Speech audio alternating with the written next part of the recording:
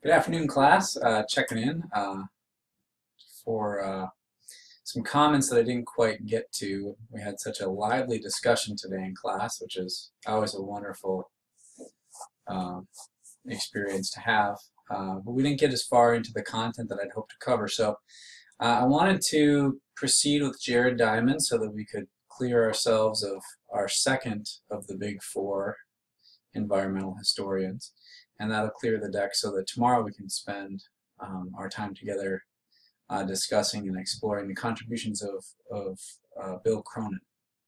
Uh, so uh, I just, I'll start here. I, I have a SNAP assessment. Um, this is a, you know, I used to do this with this class where I would sometimes begin class period with a question. So I just left it here um, to sort of see if you could, if pressed, come up with a useful answer uh, to this question. Pardon me. And the question, of course, is how does agriculture relate to um, the level of development and advancement of a society? And hopefully one of the things that you've taken away from your um, experience with Jared Diamond thus far is that he's putting forth the idea that the surplus, meaning the agricultural surplus, that a society can create allows that society the um, opportunity to develop and become more complex, meaning uh, the better that, pardon me, that the farming class can provide society and meet its needs for food, that allows for more butchers, bakers, and candlestick makers, and uh, nuclear physicists, and physicians, and college professors, so on and so forth. It frees more people up to engage the, I guess we could say, the uh, layered modes of production. It allows a society to advance from a primary mode of production to secondary, tertiary, and quaternary as we discussed briefly in class today. So anyway, that's that's a roundabout way of how uh, agriculture uh, fits in.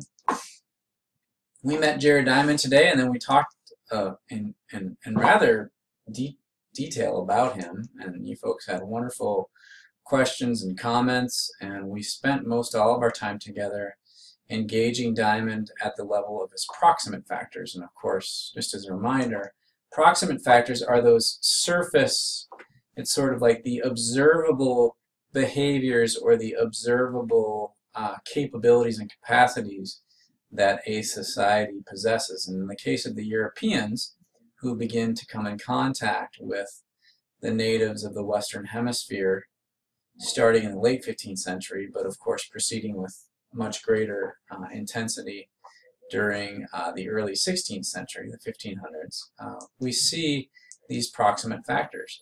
And these are the things, these are essentially the advantages that would have been evident to the Native Americans who first welcomed the Spanish um, conquistadores, uh, but then later, very shortly thereafter, sought to um, remove and defend their civilizations and societies from encroachment uh, by the Spanish presence.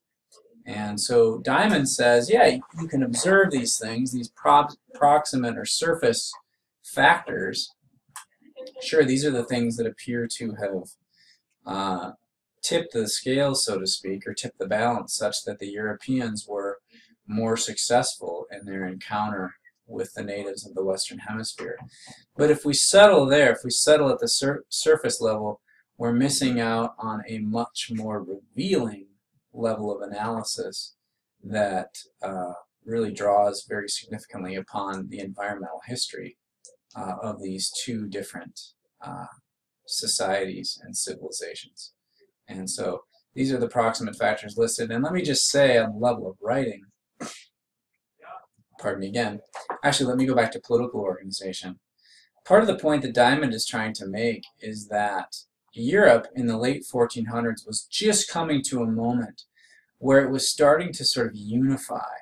And a great example of this is actually in the uh, incident of uh, Christopher Columbus approaching uh, uh Ferdinand and Isabel, uh, the king and queen of Castile and Aragon, for the funding to sponsor his famous voyages to the Western Hemisphere. Now, right there, it suggests something interesting. We have two different kingdoms on the Iberian Peninsula coming together in to form something closer to the larger uh, nation country of Spain today. But they were just starting to come together. Um, Ferdinand of Castile and Isabel of Aragon, these are two different kingdoms that come together in the marriage of these two famous people. And then these two people decide, and they're actually very reluctant. Columbus petitions them at least five times, I think it's seven times, before they say yes to his proposal for these, um, of course, um, historic uh, voyages across the Atlantic. And so the political organization, meaning the fact that Europe is starting to form itself into districts and administrative units that are larger and larger, is an important part of the story. And the other thing is, is that when this is done politically, it means that the people of this region of the world, the Iberian Peninsula, are sharing in the expense of sending a voyage like Columbus's across the Atlantic. That was an expensive and risky proposition, right? Sailing across the Atlantic, it had not been done. I mean, I guess technically it had, but it had not been done in such a grand and intentional way up until this moment in world history. And the political organization uh, in Europe was an important part of allowing this voyage, the resources, organization, and planning that was necessary to make it a rather critical success. Similarly, writing has a significant role to play there. Uh, writing, in many ways, is essentially knowledge without a shelf life. if you think about that, right? Writing, as Diamond, I think, mentioned briefly in the uh, documentary of the other night, writing allows for the storage of knowledge. Um, in the native practice, and we'll meet a lot of tribes starting next week, the practice of knowledge was transferred orally from generation to generation. Now there's a little bit of an exception there. The Maya, who were a famous civilization of Middle America, they possessed writing. The Aztec too, but their writing their writing system was actually quite basic and, and not nearly as sophisticated as the Maya. But European writing is absolutely critical because it allows for the dissemination and passage of past approaches to things, whether it's war, whether it's sailing and maritime passage uh, throughout different parts of the world, whether it's through maps. It's stored knowledge which serves later generations very well. And in the case of Europe, these centuries upon centuries of stored knowledge are now going to be shared and passed along. And this is, um, in part, explains the success that the Spanish have when they arrive in the New World. And they have a tremendous advantage over um, the less sophisticated writing and the less sophisticated political organization of the Americas. Well, now let's proceed to ultimate factors. And pardon me, uh, ultimate factors are, of course, those underlying factors, those things that the Native Americans couldn't see when Cortez and Pizarro began their um, to launch their offenses against the uh, Aztec and Inca civilizations, respectively. So one of the statements, a powerful statement that Diamond is making with his um, explanation, his thesis here, is that the Spanish were geographically fortunate. They were lucky. Um, not because they were more sophisticated or better than the Aztec or the Tlaxcalans or the Tabascans, uh, but because they were uh, inheritors of millennia of developments that have been taking place in Eurasia I'll see if my mouse works here. This will be the test. You guys can tell me. Uh, Eurasia, a landmass that is one, massive, and also has the tremendous fortune of being based along an east-west axis. And this will, um, I'll be able to explain that a little more, and some of you probably don't even need that explained. So what this means is, is that Eurasia, much of Eurasia, and the people therein share similarities of latitude with vast stretches of people on this landmass. Now that might not sound like much of an important piece of information. But if you think about it a little bit longer, it actually is. Because in the Americas, in the Western Hemisphere, a lot of people tend to share meridians of longitude in common with each other because it's this landmass is based on a north-south axis. But over here, Eurasia, it's east-west. And we could include Africa, but the problem with including Africa is that there's this vast land feature known as the Sahara Desert that really does disrupt.